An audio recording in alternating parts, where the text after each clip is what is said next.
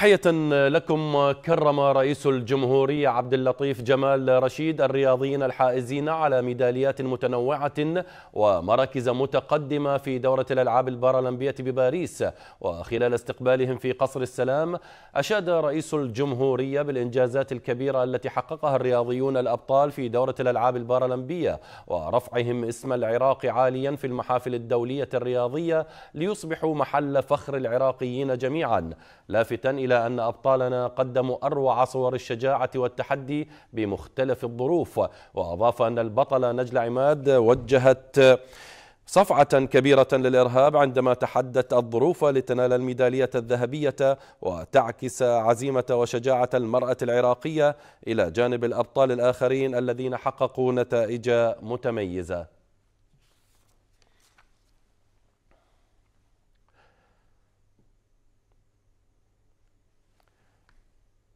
حافظ منتخبنا الوطني على مركزه الخامس والخمسين عالميا في التصنيف الجديد بحسب ما نشره موقع الاتحاد الدولي للعبة. واحتفظ منتخب الأسود بمركزه دوليا برصيد أكثر من 1435 نقطة. أما على الصعيد القاري فقد حافظ العراق على المركز السادس على مستوى منتخبات آسيا بعد اليابان وكوريا الجنوبية وإيران وأستراليا وقطر. فيما حل العراق بالمركز السادس عربيا بعد منتخبات المغرب والجزائر ومصر وتونس وقطر.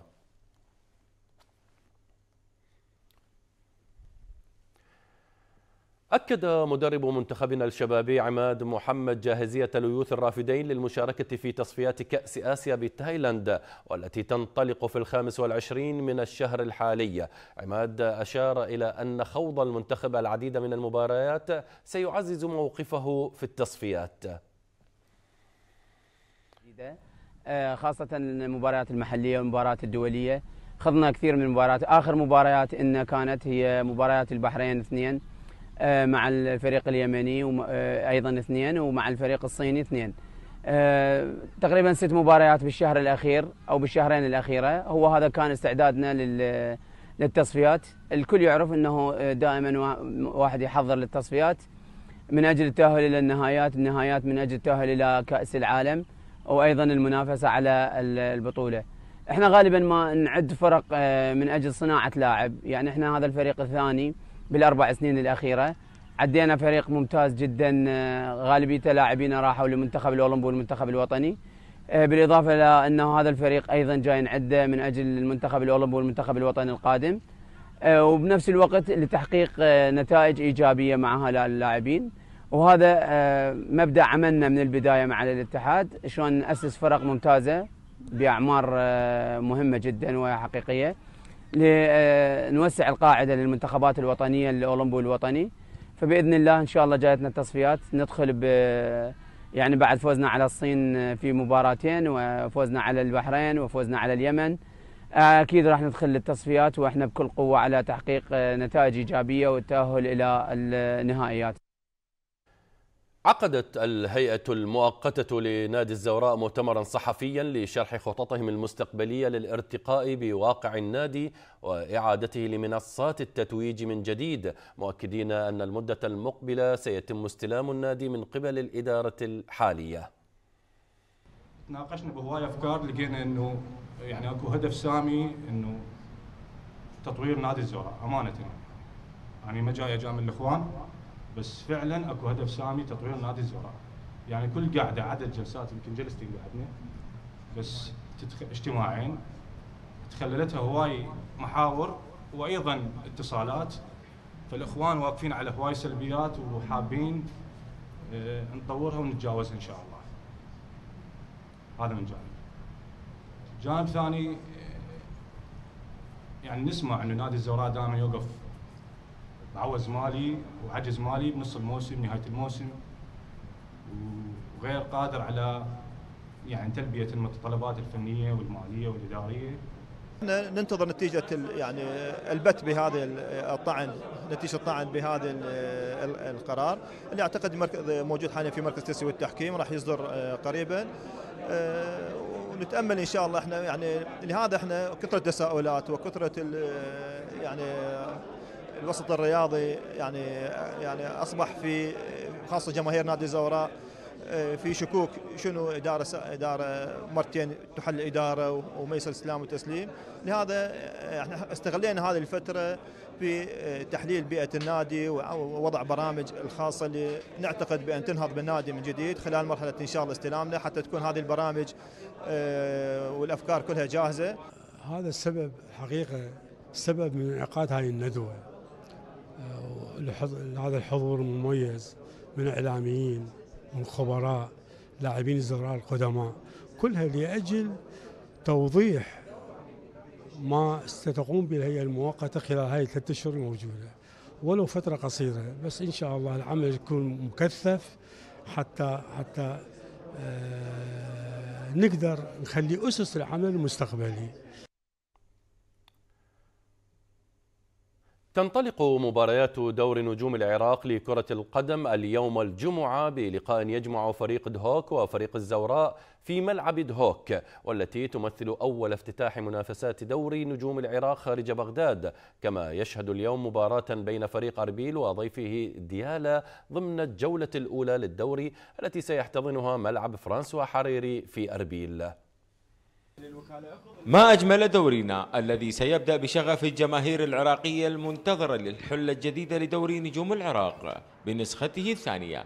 ساعات قليلة تفصلنا عن انطلاق صفارة الافتتاح الذي سيجمع فريق دوك بضيفه الزوراء لحساب الجولة الأولى. عدينا عدة لهذا المباريات يعني صار لنا حوالي تقريبا شهر وعشرة أيام.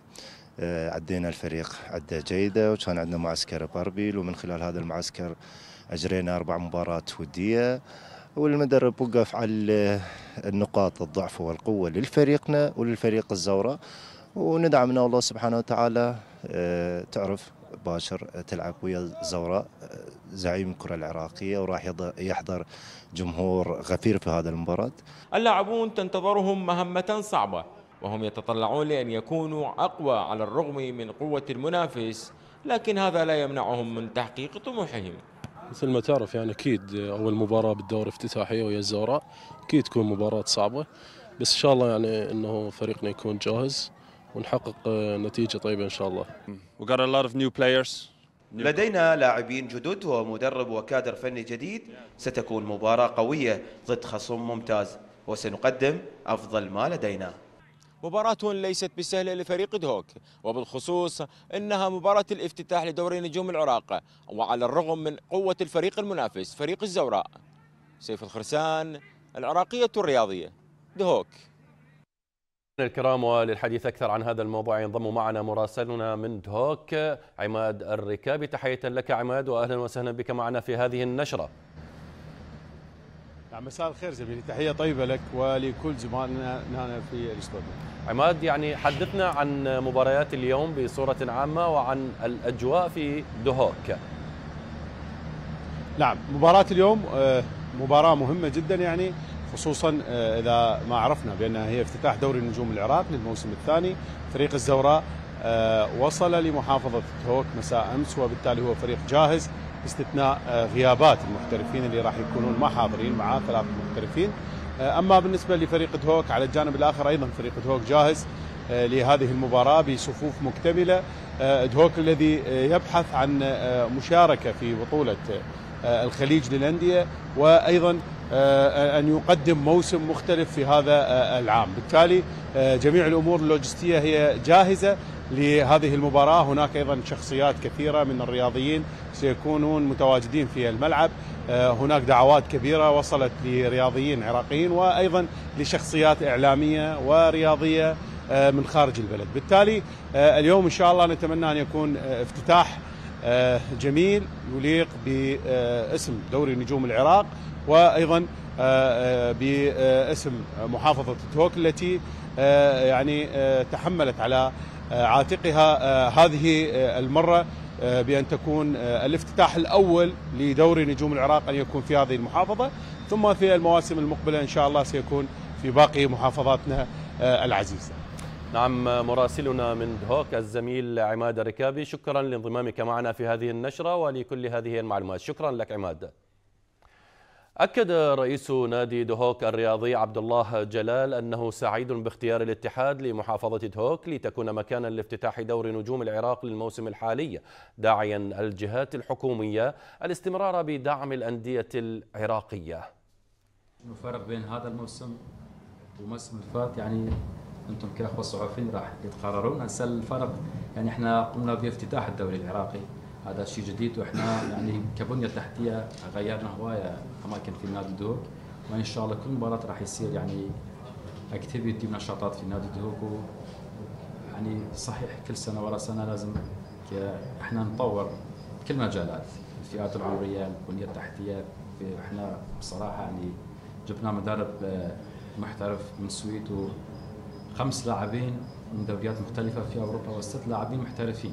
فهدفنا يعني مركزنا يصير أحسن من العام. آه، هذا السؤال واحد. السؤال الثاني؟ شهر مليار. صراحة استعداداتنا كلش ممتازة. يعني أكو نقصات صراحة وكل انديه يعني مجال ما صار هواية يعني. فإحنا طموحنا يصير مركز النادي دوك يصير أحسن من العام ونحاول نعزز فريقنا وإحنا جايبين أكثر من آه، خمس لاعبين من الدوريات الأوروبية قبل هم قلت لكم وست لاعبين محترفين زينين بصراحة. فكرة القدم توفيقات. توفيق من الله إن شاء الله. أتمنى مناشد السيد رئيس الوزراء محمد شيع السوداني يعني شوف أندية الأقليم الكردستان مثل أندية الجنوب والوسط يعني آه، هو الفلوس. كل الانديه استثناء الأندية الأقليم يعني ما أعرف شنو هاي السبب. هذا الرياضه يعني بصراحة. هو رجل كريم أتمنى يوصل رسالة جنابه الكريم. الاهتمام بافتتاح دور نجوم العراق هذا الموسم عده الإعلام الرياضي أمر إيجابي لنقل صورة جيدة عن التطور الحاصل بالدوري. المزيد في سياق هذا التقرير. بيئة العام الماضي ستقل. وشفنا طلائعها من البداية أنه عملية آه، منح آه، راحة أكبر للفرق آه، عملية بداية الدوري ونهايته. هذه أمور يعني جيدة يضاف إليها أنه أن يكون الافتتاح في ملعب نادي من المحافظات وهذا شيء جيد. اليوم شاهدنا فعل كبير في ملعب دهوك تحضيرا لهذه المناسبة العزيزة حقيقة لانطلاق الدوري اللي هي أقوى مسابقة آه، عراقية. اليوم ما شاهدناه من حديث للدكتور عبد الله جلال رئيس النادي. بالتأكيد آه، يعني آه، حمل في طيات الكثير من الأمور الجميلة اللي ممكن أن نمشي عليها في السنوات المقبلة في أن يكون الافتتاح في كل محافظة.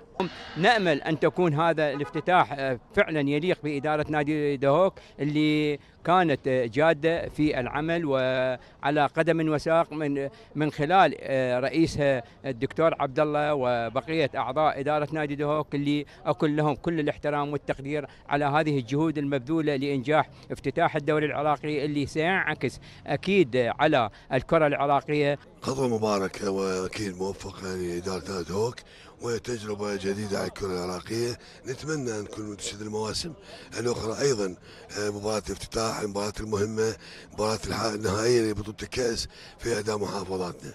حقيقة ما قدم إدارة آه، نادوك وإستعدادات ممتازة من خلال آه، قامة الحفل من خلال المباراة المهمة مع الزوراء. اليوم إدارة نادي هوك خطت خطوة نحو الأفضل.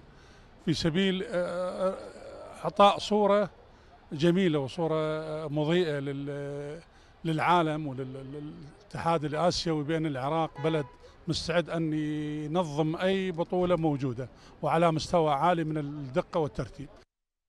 أنهى فريق أربيل تدريباته استعدادا لمواجهة فريق ديالا على ملعب فرانسوا حريري ضمن منافسات الجولة الأولى لدور نجوم العراق. فاضل الحمداني والتفاصيل. يستهل فريق أربيل مشواره الكروي في دور نجوم العراق للموسم 2024-2025 بمواجهة الوافد الجديد فريق ديالا على ملعب فرنسا وحريري يوم الجمعة في أولى محطات الفريقين. عند الجولة الأولى. بالنسبة للجاهزية تدري مباراة أول مباراة بالدوري دائما يكون شوية الكل مستوى الفرق متساوي لأن فترة الأعداد كانت فترة قليلة بالنسبة لنا أحكي كنادي أربيل. بس هذا ما يمنع أن طموحنا بثلاث نقاط هاي المباراة خصوصا المباراة تكون في أرضنا وملعبنا بين جمهورنا. طموحنا ثلاث نقاط إن شاء الله. أربيل عزز صفوفه عبر مجموعة من التعاقدات سواء من اللاعبين المحليين أو المحترفين. من أجل عودة الفريق إلى المنافسة مرة أخرى بين كبار فرق الدوري. نحاول إنه هذا الموسم يكون مختلف عن الموسم الماضي من كل النواحي من الإدارية والفنية بالتأكيد. أه ما أقول لك إنه الدعم أه هو أفضل من السنوات أه الماضية لكن لا بأس به. إحنا نشكر جميع الجهات اللي دعمنا سواء الرسمية أو الرعاة.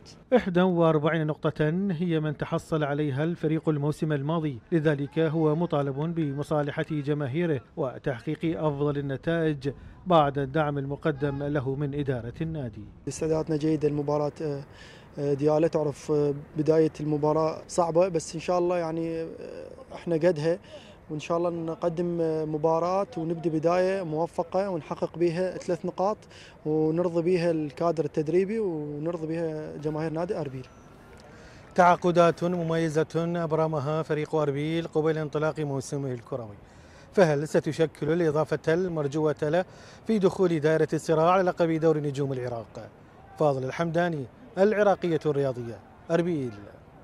في الجولة الأولى لدور نجوم العراق كثف نادي الكرخ من تحضيراته استعدادا لمواجهة نفط البصرة. المزيد مع أرشد العطار. لم يتبقى سوى القليل وينطلق دورنا بموسمه الجديد. هو واحد من الأرقام الصعبة في المسابقة المحلية. يضع جهازه الفني لمساته الأخيرة قبل التوجه للبصرة. الحديث هنا بالطبع عن الكرخ. وهو يستعد لمواجهة نفط البصرة وعينه على النقاط الثلاث وهذا طموح مشروع سيما وأن الكناري يريد أن يكون هذا الموسم مختلف جذريا عن سابقه. هذا الموسم يعني أعتقد فريق الكرخ غير يكون إن شاء الله بعد استقطابنا المجموعة من اللاعبين على مستوى عالي. الميزانية بصراحة يعني تخطت المواسم السابقة بكثير. الموسم السابق بصراحة يعني كنا نصارع في مسألة البقاء لآخر الجولات وهذا الشيء ما نريده هذا الموسم. لهذا يعني استبشرنا خير باللاعبين اللي استقطبناهم وإن شاء الله نقدم في موسم استثنائي. لاعبو الكرخ أكدوا عزمهم على تحقيق الانتصار الأول في الدوري. مجموعة اللاعبين الحالية تسعى لتقديم كل ما عندها من أجل تحقيق طموحات إدارة الفريق وجهازه الفني. تعرف بداية موسم جديد وإن شاء الله عازمين. يعني عازمين من البداية عكس ما مرنا به العام الماضي. إن شاء الله نادي الكرخ هاي السنة مختلف. وإن شاء الله رايحين للبصرة نحقق ثلاث نقاط في ملعب نفط البصرة. شغف كبير يملك مشاعر كل عشاق دورنا فرغم قصر مدة التوقف. إلا أن المسابقة المحلية الأغلى والصراع فيها يشكل المتعة الأكبر لكل عشاق المستديرة في العراق. العراقية الرياضية أرشد العطار. يستعد فريق كربلاء لمواجهة فريق نوروز في افتتاح مبارياته على ملعبه ضمن منافسات الجولة الأولى لدور نجوم العراق. المزيد مع حيدر الحاج. استعدادا للموسم الكروي يجري نادي كربلاء آخر وحدة تدريبية لمواجهة نادي نوروز افتتاحا لمشواره في النسخة الثانية من دور نجوم العراق. الإدارة الفنية الجديدة أكدت جاهزية الفريق لمواجهة الفرق المنافسة على المراكز الأولى في الدوري. من خلال هذا القرار إحنا ما قدرنا نجيب لاعبين إلا اللاعبين المسجلين على السيستم أو اللاعبين اللي يلعبون برديف أو باللاعبين الشباب. فانفرض واقع حال علينا إحنا يجب أن نتكيف ونعمل بهذا الواقع. أه الحمد لله يعني أنا يمكن من خلال إعدادي للفريق اللي هو غير متكامل أنت تعرف إحنا نادي كربلاء آخر فريق عد يعني تدي العقوبة اللي طالت وبعض الأمور أه قدوم المدرب الإسباني وبعد ترك الفريق أكيد هذا ضاعت أيام على إعداد الفريق. فأنت ما ممكن إنه تعد فريق وتنزل منافسة شرسة خلال 15 يوم. اللاعبون من جهتهم وصفوا استعدادات النادي وانسجام عناصر الفريق بالمشجعة لحصد نتائج طيبة تساعد الفريق على مواجهة الفرق الجماهيرية والبقاء ضمن فرق الصدارة. فريق نوروز فريق محترم منتخب النجوم لاعب المنتخب مدرب على مستوى عالي لكن إحنا تطبيق كابتن كابتن حسن وكادر تدريبي واللاعبين الشباب. إن شاء الله عازمين ومصرين على نتيجة طيبة تليق بفريقنا وبجمهورنا والكادر التدريبي. إحنا كلاعبين إن شاء الله آه، نوعدهم إن شاء الله نتيجة طيبة إن شاء الله. رغم العقوبات اللي آه، صادرت بحق النادي. إحنا فريق الآن آه، اغلبه يعني شباب واستعانينا أكثر من لاعب من الشباب والرديف. إحنا راح اشتغلنا على مسألة التنظيم الحقيقة. التنظيم بشكل عام للفريق. إحنا ممكن اللاعبين اللي موجودين الشباب راح يأدون الأسلوب اللي إحنا انتهجناه والكادر التدريبي آه، وخاصة اللي انتهجناه بالمباريات التجريبية. رغم حرمانه من التعاقدات الجديدة والاستعانة بلاعبين شباب نادي كربلاء يعد جماهيره بتحقيق نتائج طيبة في النسخة الثانية من دوري نجوم العراق. حيدر الحاج العراقية الرياضية كربلاء المقدسة. هذا ويواصل فريق النجف تدريباته استعدادا لملاقاة نظيره النفط تحضيرا لمباراته الأولى بدور نجوم العراق. أحمد الموسوي معه المزيد. بعد معسكر وأربع مباريات تجريبية في أربيل فريق نادي النجف يواصل وحداته التدريبية تحضيرا لمواجهة فريق النفط ضمن الجولة الأولى من دوري نجوم العراق لكرة القدم بنسخته الثانية موسم 2024-2025 استعداداتنا جيدة اجرينا معسكر تدريبي في محافظة أربيل ولعبنا أربع مباريات تجريبية. الفريق إن شاء الله يبشر بخير. وبعد إجراء القرعة إنه كانت القرعة متوازنة بالنسبة لفريقنا. الحمد لله يعني كان المعسكر والفترة آه، ملبية للطموح شوي بحاجة الفريق انسجام هذا الشيء راح يكون مع الدوري حالنا من حال جميع الفرق. إن شاء الله البداية راح تكون على ملعبنا وهذا راح يعطينا دافع معنوي. فريق الغزلان القادم بقوة لهذا الموسم من الدوري تم تعزيز صفوفه بعناصر جديدة وتدريبهم على مستوى عال من أجل تحقيق نتائج إيجابية ترضي الجماهير المتعطشة للانتصارات في مباريات الدوري. أكيد إحنا بالنسبة لحراس المرمى إحنا حراسنا العام الماضي وظفنا الحارس علي كاظم هذا الموسم حارس جيد إضافة إن شاء الله راح يكون للحراس. تدريبهم على مستوى عالي قدموا مستويات بالمباريات التجريبية. إن شاء الله مستعدين وتم الاستعداد المباراه الدوري. نقول يعني الحمد لله آه، وضع زين وإن شاء الله راح آه، نثمرها بال, بال أو اللعبوية للنفط أتمنى من الله عز وجل أن يوفقنا وخاصة إحنا صار عمل علينا أكثر لأن العام حققنا مركز الرابع لازم إحنا قبل ما ننافس الفريق ننافس نفسنا يعني نكون أحسن من العام إن شاء الله. الفريق الذي حل رابعا في الموسم الماضي يسعى لتقديم الأفضل خلال هذا الموسم ويرفع من سقف طموحاته ليكون في المراكز الأولى وهذا ما ستسفر عنه المباريات القادمة. أحمد الموسوي قناة العراقية الرياضية النجف الأشراف. أعلن فريق القاسم استعداده لمواجهة نظيره نفط ميسان ضمن الجولة الأولى لدور نجوم العراق لكرة القدم. فريق القاسم المعزز بالمحترفين ينهي استعداداته الكروية لدوري نجوم العراق.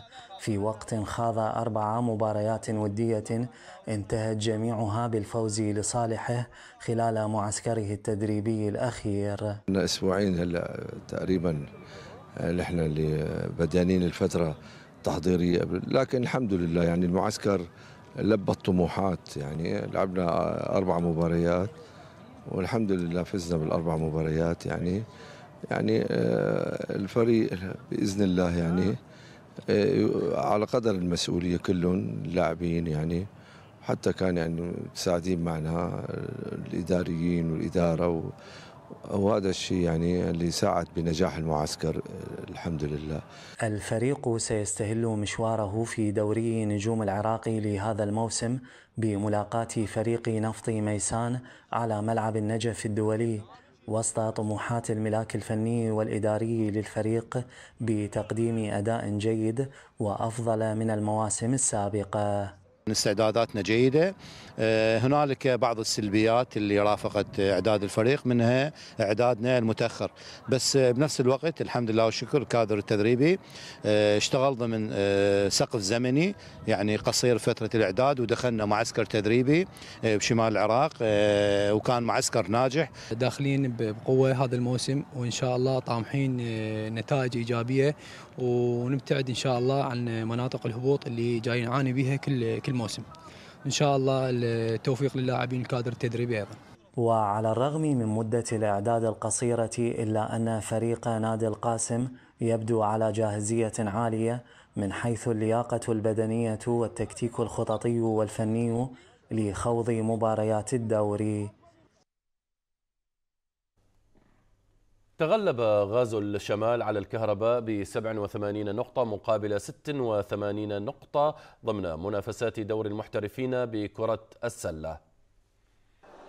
ضمن منافسات دور المحترفين بكرة السلة استقبل نادي غازي الشمال نادي الكهرباء صاحب الأرض مستعد وبقوة للظفر بالفوز بهذه المباراة.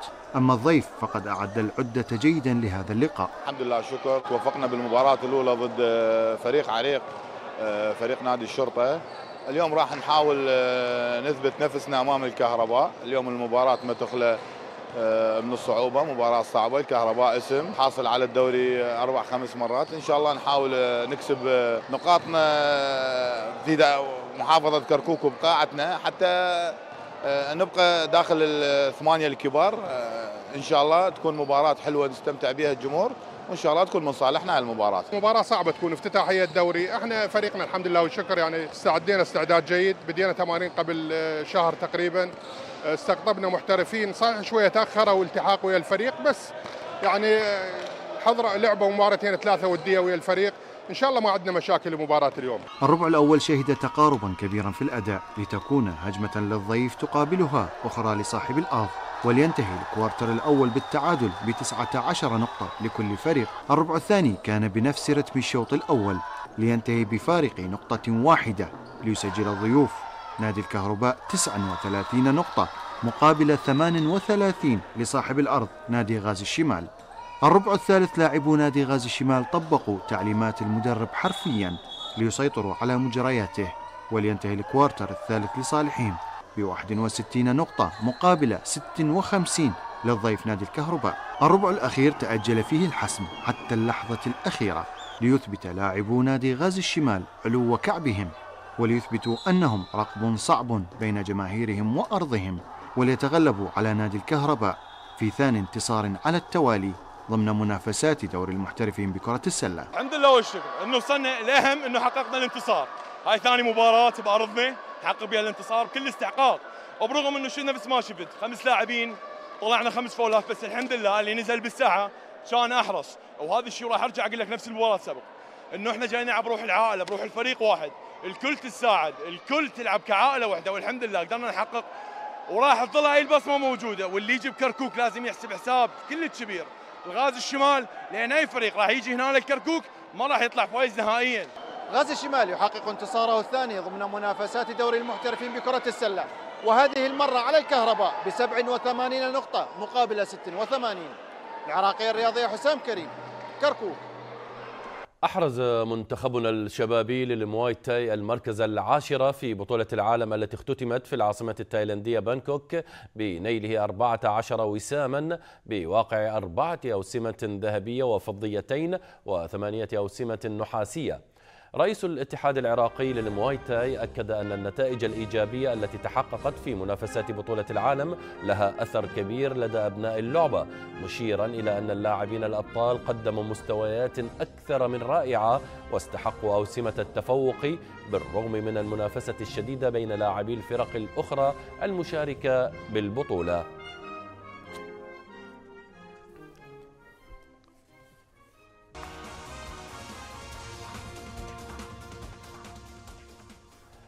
مشاهدينا الكرام للمزيد من الأخبار وإبداء الآراء والملاحظات يمكنكم متابعتنا على مواقع التواصل الاجتماعي فيسبوك يوتيوب وإنستغرام. شكرا لكرم المتابعة وإلى اللقاء.